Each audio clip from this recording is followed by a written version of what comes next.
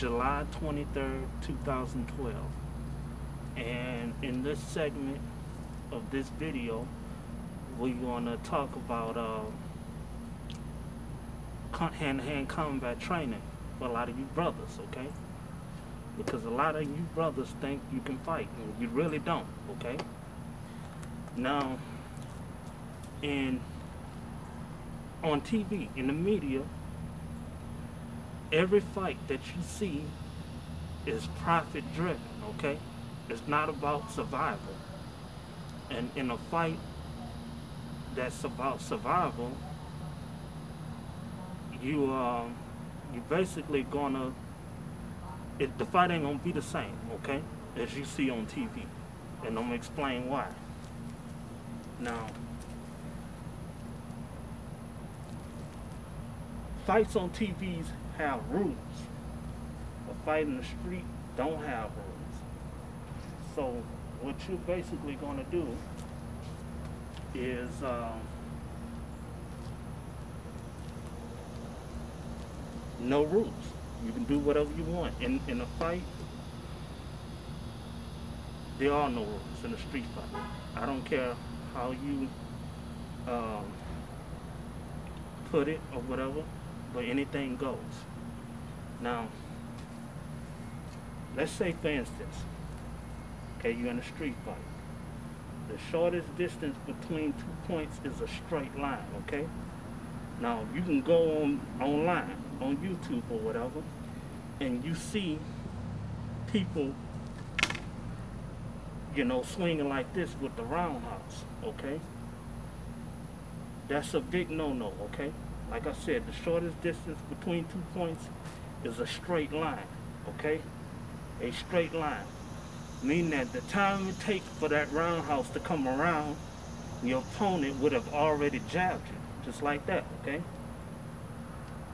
So now, what you do, okay, is you start off with some jabs, okay? With a jab like that. But you got to make sure your feet are planted well. Okay, like I said, I'm left-handed. All right.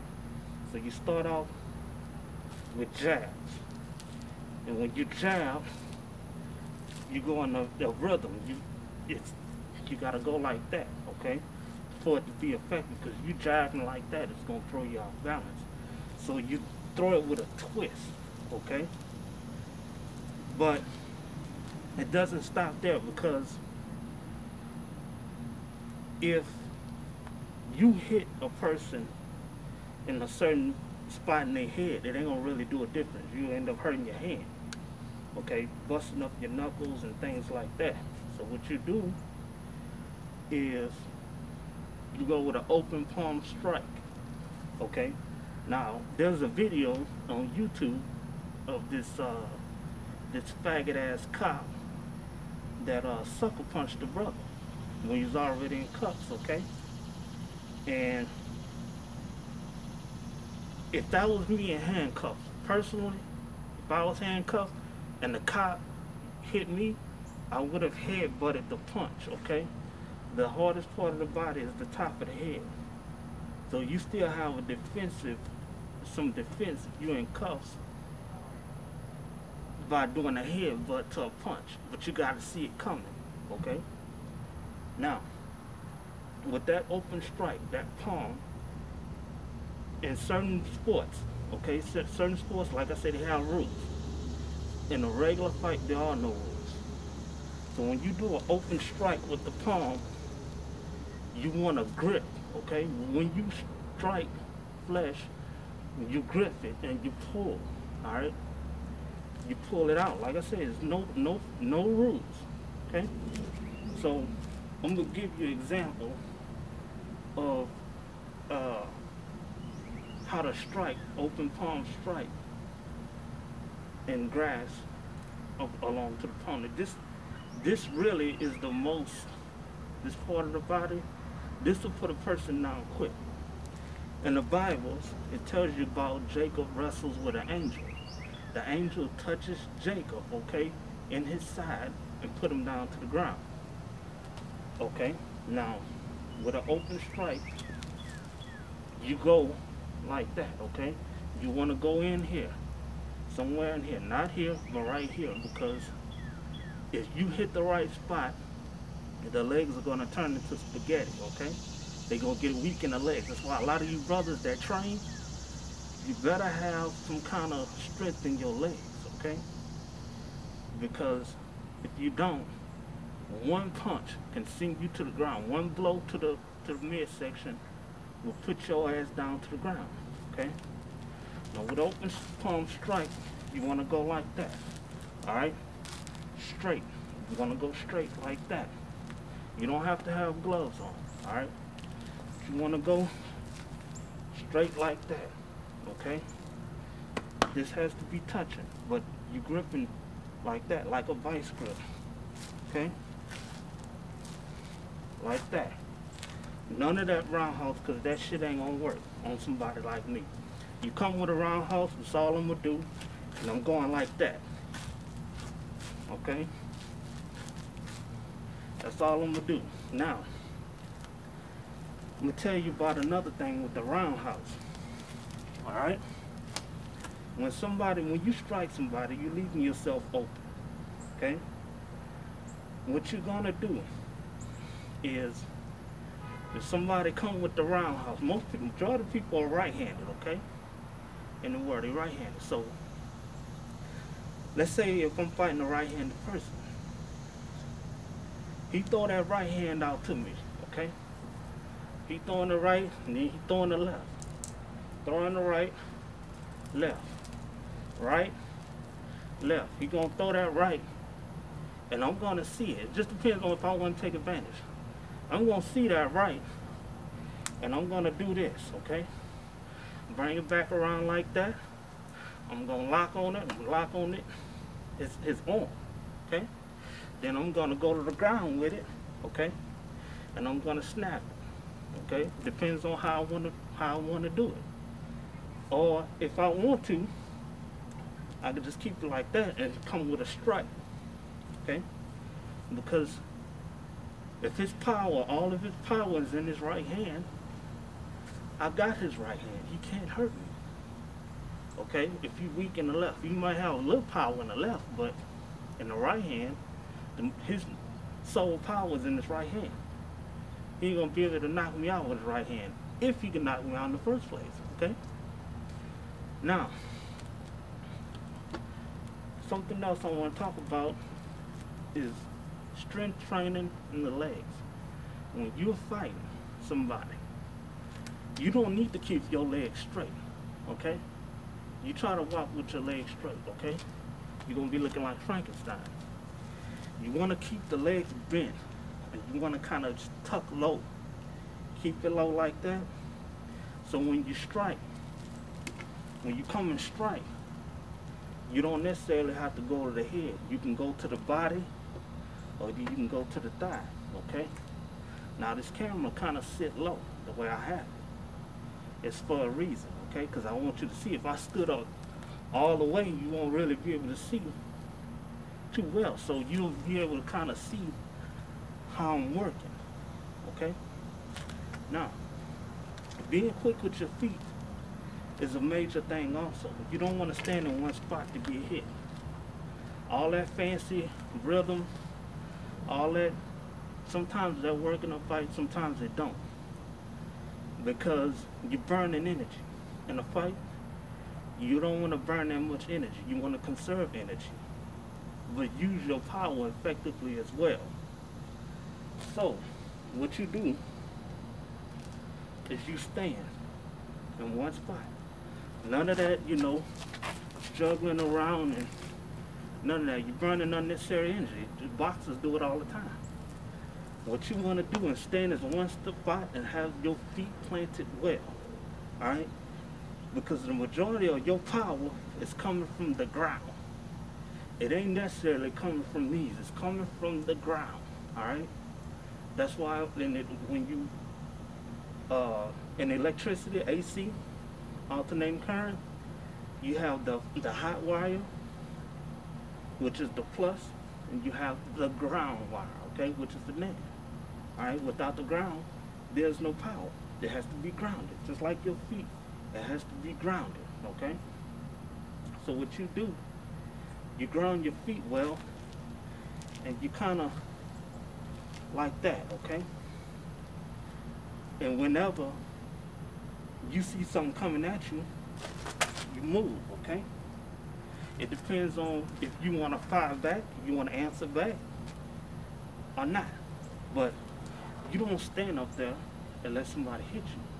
But at the same time, you don't burn in unnecessary en- energy as well, okay? Somebody come at you with the left, you can come back like that, okay? It just depends. But you don't stand in one spot. Also,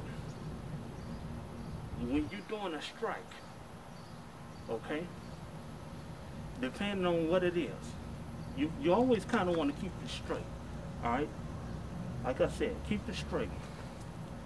Kind of keep it straight a little bit because when you come in like that, you have all this open. This is open as well. In a fight, anything goes. As I said, anything goes in a fight.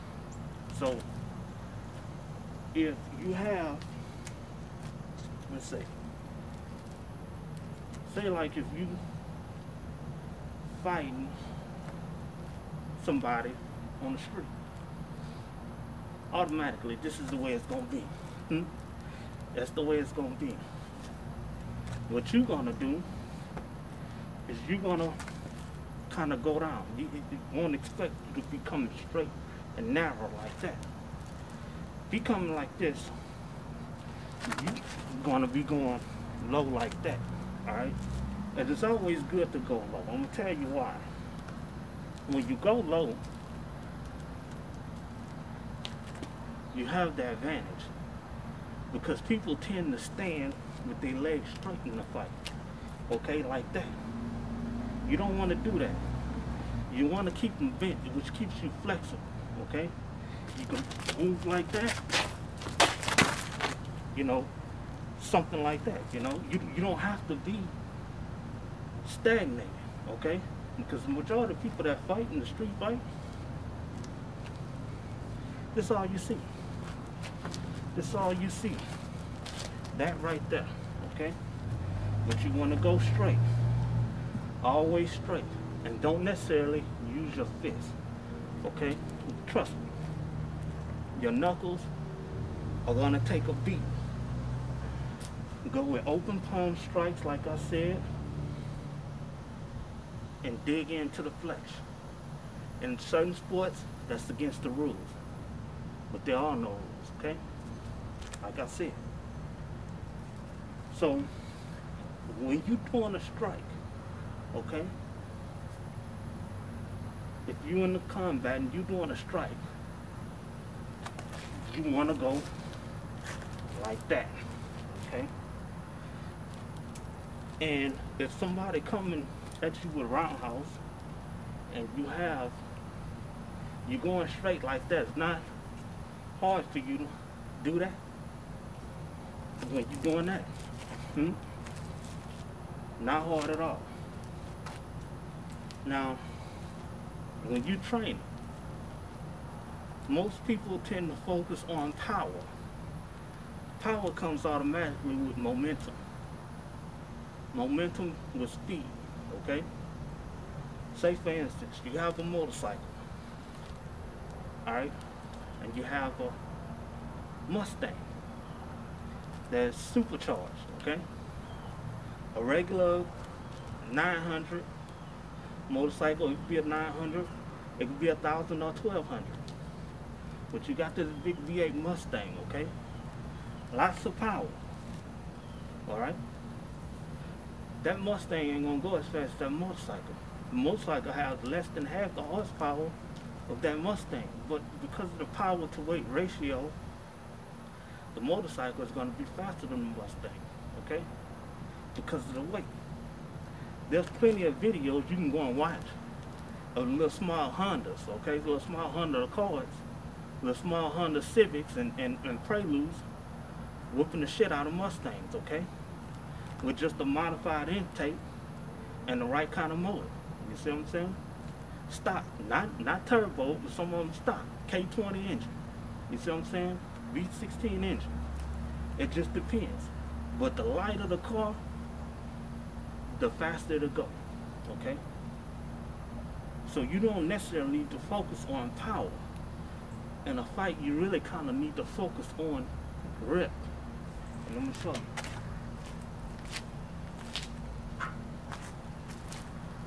This is where these kick in right here. You strengthen your forearms, your grip is going to enhance, okay? You want to lock, alright? It's like a goddamn python or, or boa constrictor. They lock on you. They, the, the, they not, the, the bite ain't to do much damage.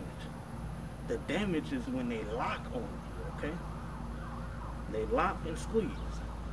So what you want to do is kind of train your forearm so when you lock on somebody, when you got this right here coming at you, and you lock on it, and you bring it back like that, that's all right. They're not getting out of there. It's not gonna happen, okay? But for you brothers, you have to focus on not coming like that. It's not gonna happen. If you find somebody that has a little skill, just a little bit of skill, it ain't gonna happen, okay? James Toney got his ass whooped in the MMA, alright? A lot of people going there thinking that they, they skills, they striking skills is what gonna save them. More than likely, the fight is gonna go to the goddamn ground, okay? And you gotta have some kind of skill to know how to handle yourself on the ground. Alright? Because you know, it, it's it's almost impossible. I don't care how good you are. If a person wants to get you on the ground, they can. If you can't knock them out, they're gonna get you on the ground. All right. Now, there are plenty of grappling techniques. Okay. I, can, I don't have nobody to sport with to show you. I don't have no no uh, no doll or no mannequin or whatever. But like I said, locking onto an arm can change the fight. Okay, can end the fight quick and bring that person into submission. And that's what you really kind of want to do. You want to have control of the fight. Okay, when you standing up and you burning energy and you striking, you don't really have much of a uh, much leverage as you would if you was on the ground. That's why when doing the UFC, a lot of the um, a lot of the, the, the Gracies, like Royce Gracie, you know, dominated the whole fucking sport. As a matter of fact, it was Royce Gracie that changed the whole goddamn sport in the UFC. Because you had all kinds of fighters coming in there with different styles, but he dominated them. It don't matter. You, you had powerful ass fighters, fighters from different styles. It didn't matter. What it boiled down to, the fight went to the ground, and that's what he did his work at. Okay, that's when you need to do your work if if it ever comes to that.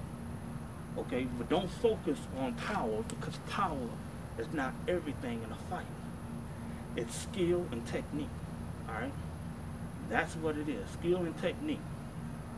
Now, you can take the smallest person and if they hit the right spots in the, in the human body, which we all have pressure points, okay? We all have them. If they hit one of those pressure points, you're gonna go down, all right? You're gonna go down. Pressure points here, pressure points in the temple, in the eyes, nose, you know. I mean, it, the list goes on and on. But if you don't have skill and technique, you don't really have much in a fight. Power is not everything, especially if you don't know how to use it. But I don't have nothing to demonstrate no power out here right now. But at the same time, your brothers need to focus on your stance, okay? Getting your feet gripped to the ground, right? 'Cause like I said, your power is going to come from the ground, not necessarily your arms, okay? And being able to strike, all right? Strike effectively. You have more of a chance at getting landing a solid strike going straight than with a roundhouse punch because the punches are going to slide off. Whereas when you're going straight, you're going to make direct contact. You're going to make a solid impact if that person is standing in that spot. Okay? But